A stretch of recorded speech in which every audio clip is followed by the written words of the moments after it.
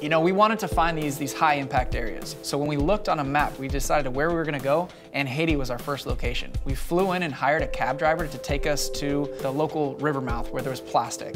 We had to walk a long way because you couldn't get back there with vehicles, but when we got there, it was a field of plastic. It was about 10 feet deep, 300 feet wide, and the river was literally pouring plastic into the ocean. So we realized that if we could have a, a much larger impact by implementing a plastic barricade system that would stop the plastic before it had a chance to enter the ocean, and then hire local fishermen to use their nets and their tools to service these barricades and stop the plastic and collect it before it has a chance to get in the ocean.